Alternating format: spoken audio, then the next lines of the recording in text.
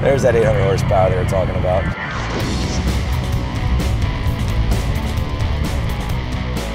Guys, welcome to this episode of Hot Lap. Now this is December Hot Lap, which makes this the very last Hot Lap of the 2016 season. I cannot believe I'm saying that. And fair warning, it is gonna feature a lot of Justin and very little of me, but we are gonna have some cool segments and of course a cool product break as well. Sorry to all your fans out there. I know they're gonna be very disappointed about that, but we got our full SEMA episode coming to you, including some of our hottest Mustangs from the show, some of the funnest ride-alongs, and our friends from Shelby invited us over to check out their new joint, even threw us the keys to one of their very rare Shelby Mustangs. Probably not the smartest idea ever on their behalf, but it was a lot of fun. Check it out.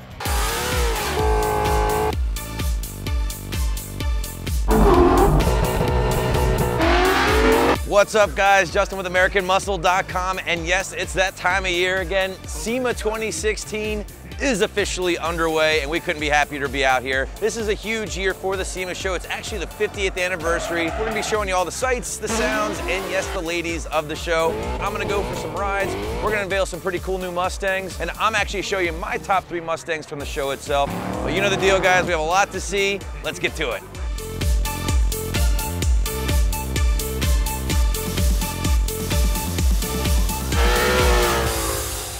One of the big highlights for us every year here at SEMA, of course, is the Ford booth, right? It's a pretty obvious reason as to why, because we're just surrounded with some of the coolest Mustangs in the entire show, along with some other pretty radical cars. And Ford doing it big as always. Hottest car of the show again with the Mustang, hottest hatchback with the Focus, and yes, the hottest truck of the show with the Ford F-150. Ford's really doing their thing here at SEMA. I'm standing in front of my number three Mustang here from SEMA 2016, the Ford Mustang GT4. Now this thing's based loosely off the GT350 RC. I love a good track focus build and this is definitely it, but besides being functional, Multimatic coilovers, Holinger sequential transmission, paddle shift stuff, of course that 5.2 flat plane crank motor under the hood, this thing just looks awesome. I would rock a Mustang like this just from a styling aspect. The flat like battleship gray color, just a really, really sick car and one that's designed to do one thing and one thing only, and that is to kick some serious ass on the track. Guys, we're here at one of my personal favorite spots at SEMA every year, the Ford out front, because this is just an awesome spot, all kinds of craziness going down, really cool cars, but the best part, of course, is the driving. I get to do some pretty fun ride-alongs, but for now, Blake, show these guys what it's all about.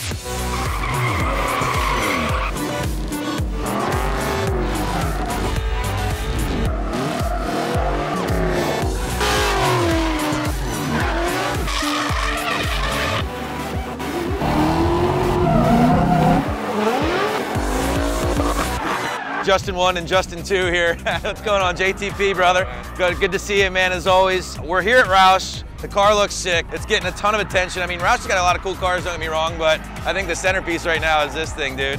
Talk about the car a little bit more and what's going on with it, man. This is uh, my 2016 Mustang. I debuted uh, this year in Formula Drift. We got the uh, Aluminator with the Roush Charger on it now, and it's making nearly a thousand horsepower. That is crazy. With a dude. Roush tune on a Ford Performance Controls pack, so a factory ECU. So you could buy that crate engine, buy the blower. You could 100% put this setup that I have in your street car. That's insane, dude. I need to do that with my GT when I get home, as a matter of fact. Help me out with Everybody there. needs to do that. and then you and I, again, were talking about this, and I think this is probably the coolest thing about the car. A lot of teams will send a car out to a shop. That's not you, man. You've built 100% of this car pretty much by yourself, right? Uh, well, probably about 80, 90%. I mean, I definitely have a lot of help. I basically took this car from a 50th anniversary car, stripped it all the way down to the bare chassis, stitch welded the whole thing, built the roll cage.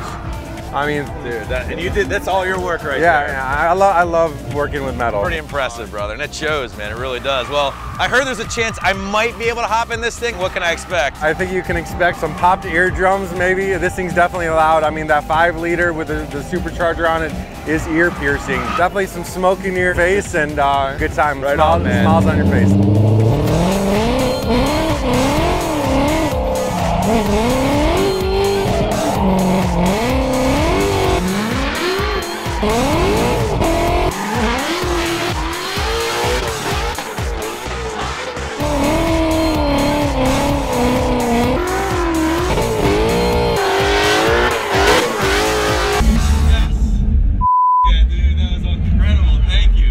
My second favorite Mustang from SEMA 2016, done up by the guys from VMP Performance. Their Track Attack Mustang, as you can see here, definitely like an old school Air Force theme. They sprayed it in avalanche gray, much like the GT350 stuff. And the car is just awesome, right? We have a lot of Cervini stuff going on from an appearance standpoint. A one-off Cervini's hood, GT350 inspired, with that little glass window in there so you can see that VMP Gen 2R blower shining through. Again, this thing's making over 800 horsepower, absolutely ridiculous. About 11 to 12 PSI from that VMP blower. Roush coilovers on this thing, the Forgestar CF10 wheels, custom interior, and it is just an absolutely sick car. How do you take something that's already badass and make it even cooler? Put twin turbos on it, dummy. Of course, that's always the answer. Guys, we're here with the Hoonicorn RTR Ken Block's all-wheel drive Mustang, now sporting two shiny new turbos to the tune of 1,400 wheel horsepower, spinning not one, not two, not three, but all four of those Toyo Proxes are triple eights. I mean, this thing just continues to get cooler. It's awesome. You should like it, and you should twin turbo everything. Now, of course, every year here at SEMA, we try to bring you the coolest cars, the coolest Mustangs, the ride-alongs, all that fun stuff, and that's great. What else is there to see here at SEMA? The girls. Hey y'all, welcome to SEMA.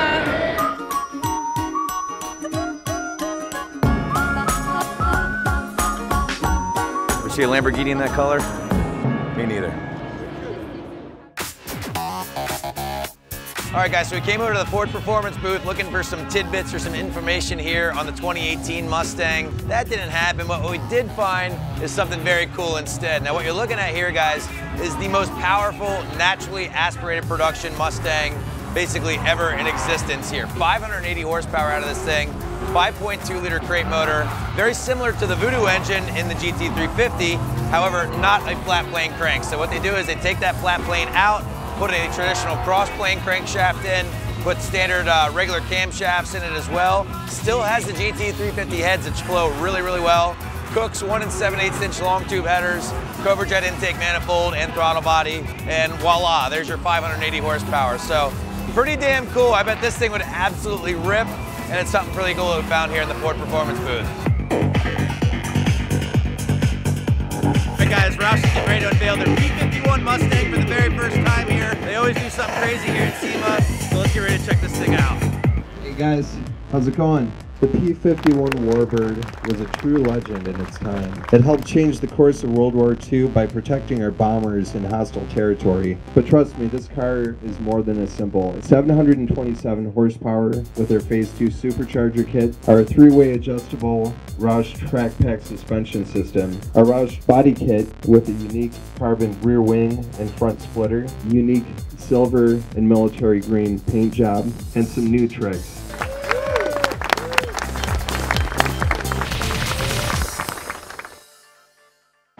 See what the excitement was all about here at the Chevy booth, and uh, yeah.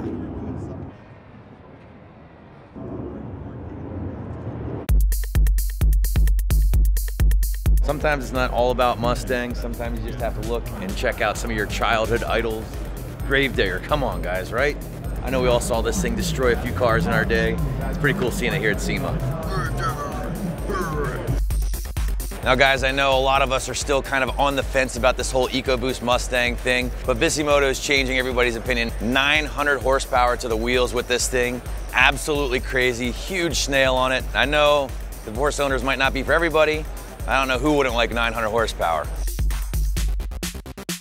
Along with the P51 Mustang that Roush unveiled this year at SEMA, they also unveiled this monster, 2017 Roush Nitemare F-150, pumping out over 600 to the tire, about 550 pound-feet of torque to the wheels as well. Coyote under the hood here with their TVS blower on top, and they're claiming fastest production street truck available in the world. About to go for a rip in Vaughn's car. Whole lot of horsepower, whole lot of fun. Let's get it going.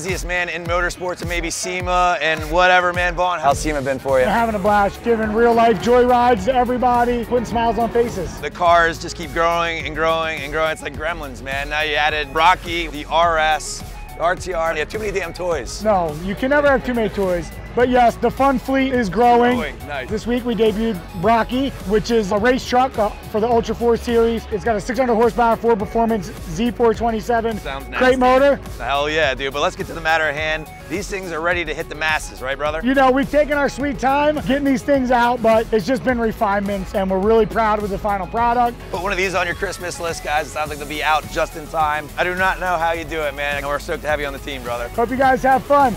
Woo! Now, when it came time to pick my favorite Mustang from SEMA here at 2016, it was a difficult task. I mean, it was the hottest car of the show, so obviously I had a lot to choose from. However, when I stumbled across this 65 Mustang here built by the guys at Timeless Customs called Vicious, it was a very easy choice. This thing is just a complete work of art, valued at over a million dollars when it comes to the build cost here. This is my number one pick from the show, hands down. It is an incredible car. I can't do it enough justice. So here's our buddy Rich from Magnaflow to tell you a little bit more about it. Beyond all the fit and finish, it's really what it performs as. We've got a twin charged Mustang, twin precision turbos feeding a Magna Charger under the hood on an Aluminator Coyote motor. I mean, you can't ask for a better combo for power. We're easily looking at about 1,000 to 1,100 horsepower at the wheels on a car that does have wheels that can actually hold the power. Carbon ceramic brakes, the wide body's there for aero. When you look at the bottom of the car, you actually can't see our exhaust work on it because it's actually got a false floor bottom. The exhaust travels on an underpan for aerodynamics with sandwich between what would be the interior floorboard. Good luck finding the turbos. They're tucked on the sides of the fenders and because they put the fenders in there, you'll see that there's some other attributes they put on the top of the hood and the fender line to accommodate the charge pipes.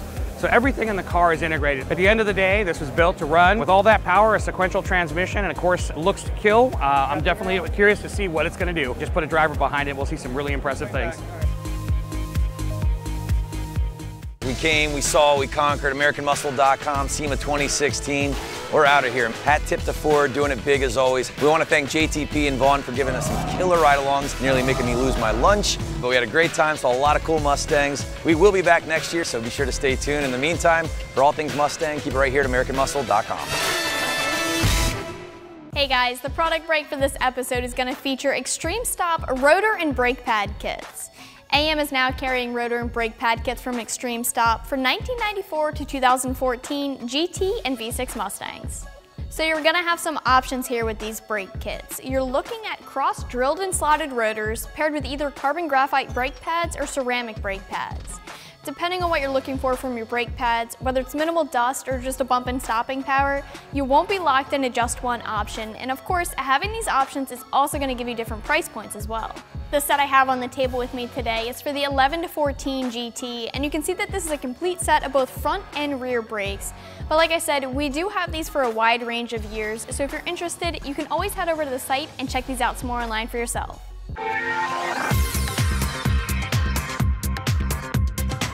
We're out here in Las Vegas to visit our friends at Shelby American. We hear they have something fun lined up for us. We're gonna check out some of the history, some of the cool cars, so let's get to it.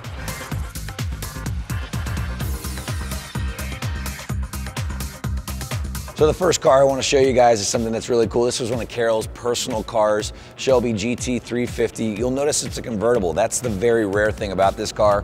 One of only 16 in existence. They outfitted it with the C4 automatic transmission. Again, another rare thing. Roll bar, all that good stuff. But Shelby himself used to drive this car, took it back to Ford. He says, it just, it needs a little something else. So Ford went ahead and installed a nitrous oxide system in this thing for Shelby, just to give it a little bit more pep, which is really cool. Right next to it, the second ever made Shelby GT350 Trans Am car. First one was a prototype. This is number two. And as we understand, it still has the same wheels and tires on this thing that it used to race on back in the days. Just really two cool history pieces here in the Shelby Museum.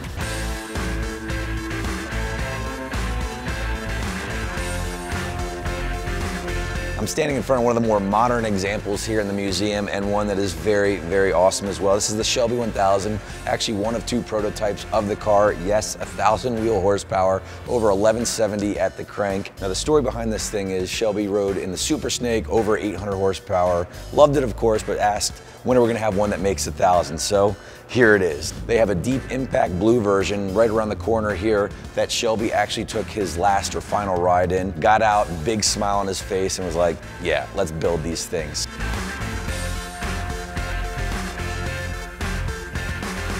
Now, I'm a huge fan of the 427 Cobra. It's my dream car. It's something I've always wanted since I was a kid. And we're actually standing in front of a really, really cool, and this is actually the birth of the Super Snake, essentially, is what you're looking at here. 427 Cobra, but with twin Paxton blowers on it, twin four barrel carbs pushing out over 800 horsepower in something that's essentially weighing around 2,000 pounds. So this thing is an absolute rocket ship, and in my opinion, one of the coolest cars here at Shelby. Well, we're here with my buddy Keith from Shelby. Obviously, we just got done drooling all over the stuff inside the Heritage Museum, but now we're kind of in the trenches. This is where everything's taking shape. Tell us a little bit more what goes on out here. Behind us here is kind of the DNA of our company. Everything we do uh, is still based around the Cobras, the GT40s, there's a ton of coupes, and it's really the identity of who we are as a company. We kind of keep that in mind, and we inject that process in even the newer cars that we build now. We have 22 full-time lifts and we're mostly working right now on 2015, 16, and 17 Mustang base platforms. Uh, we have the Super Snake, we have the Terlingua, and now the GTE. Let's go check them out. Yeah.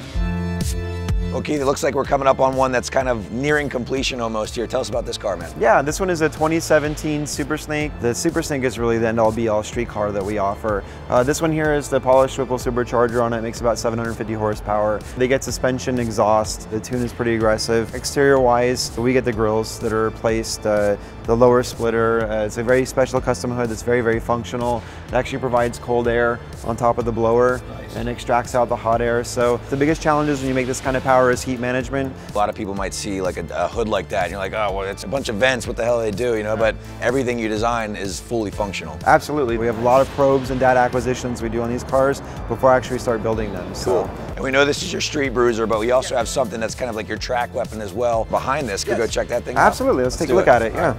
This car obviously has a lot of heritage to us as a Terlingua racing team from the 60s. Our intention was really to have a really super track capable car that we can tone it down for the streets so it's fun to drive, enjoyable. But when you get on the track, this is when this car really shines. There's a very special suspension system developed just for us. And uh, this is tuned a lot more aggressively than the other cars. They put out a lot more power and it puts it in the right place when you're on the racetrack.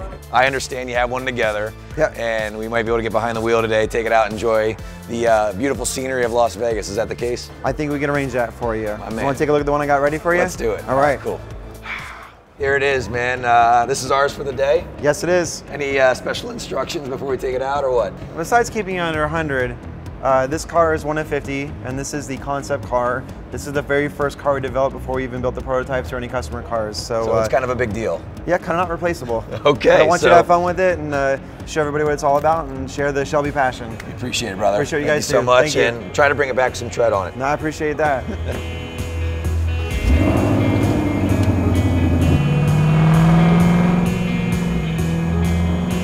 Now before I get started, I want to apologize for my voice. Our Shelby trip has coincided with our SEMA trip. As you can tell, I've been talking a lot. Bear with me. My voice isn't the story, the car is. And I know you're probably thinking, like, Justin, you've already reviewed this thing before, man. We've seen it.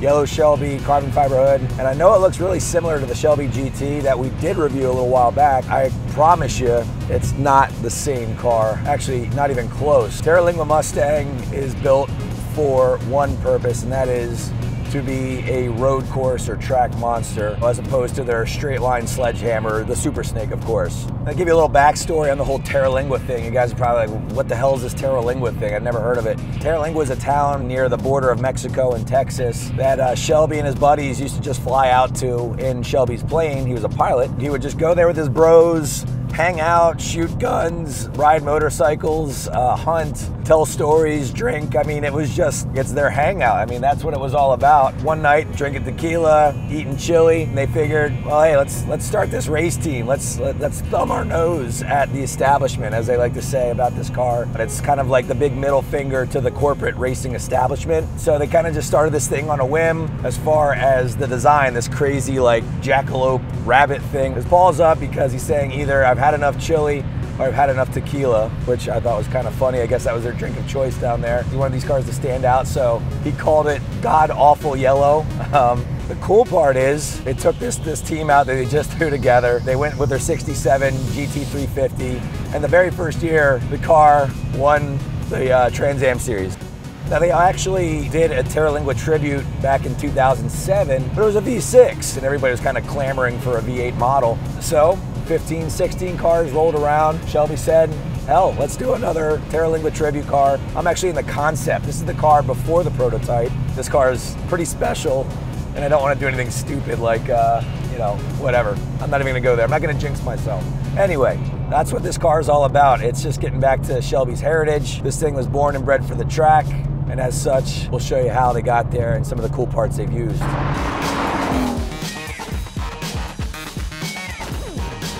Now from an appearance standpoint, again, this thing does look very similar to that Shelby GT we reviewed a little earlier, but there are some subtle differences. On the exterior, and that god-awful yellow, as Bill Neale claims, with the original Terralingua, the triple yellow, in my opinion, obviously not that bad, pays homage to the original car. Stripes are a little different with this car as well. You'll find the Terralingua badges all over. Number 17, Jerry Titus's number for his original GT350. If you like carbon, you're definitely in luck here at the Terralingua.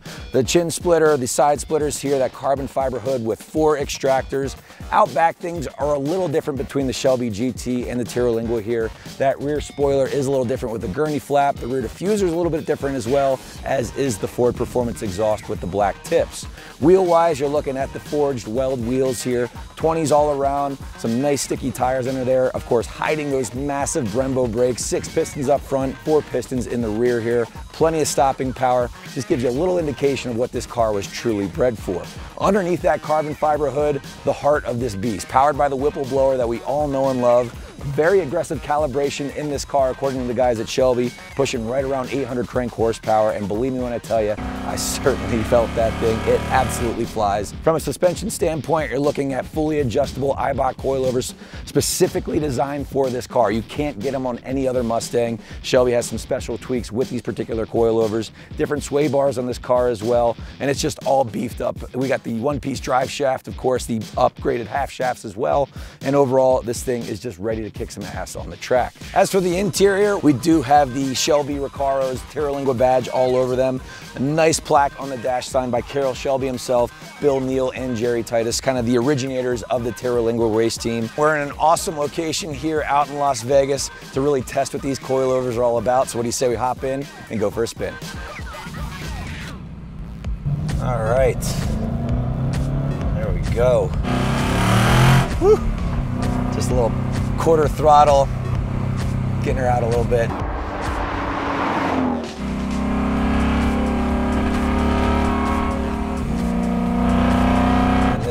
Just, again, wants to grip, man. Oh, this huge sweeper here. Oh yeah, there's that 800 horsepower they were talking about. This thing's awesome, man. God, it begs you to like just push it harder and that's kind of what I'm really getting out of this car right now. Oh, these brakes are working just fine. One thing I really like about driving this particular car, and it's something I didn't notice with the GT for whatever reason, it's got a pretty solid cowl on it. I mean, it's not a four inch cowl or anything that crazy, but that being said, the back half of the hood is opened up so you can kind of see under there a little bit. You see that bright yellow Whipple just staring at you in the face. Just one of the little things about this car that I like. All right, we got some open road. Let's open her up.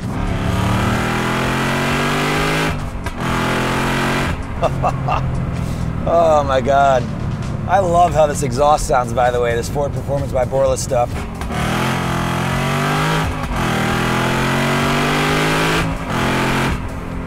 Got some bark, but at the same time, you can still really hear that Whipple whining hard. I can imagine once you really get this thing out into an open track, it just really hauls. Let's do it again. oh my God. Oh, triple digits come way too easily in this car.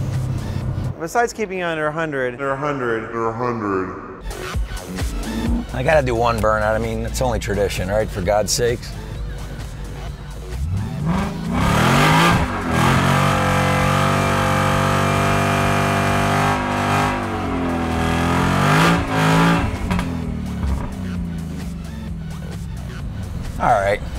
Now we can bring it back. Well, guys, what can I say? This was an absolutely incredible day at work. We really want to thank our friends over at Shelby, Keith, Vince, all the guys for making this possible. But unfortunately, we have to return this thing and get to work.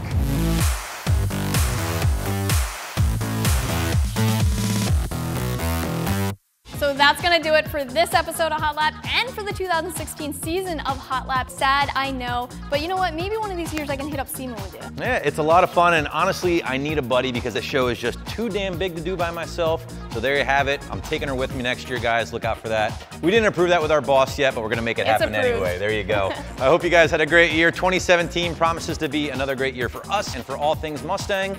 Keep it right here at AmericanMuscle.com.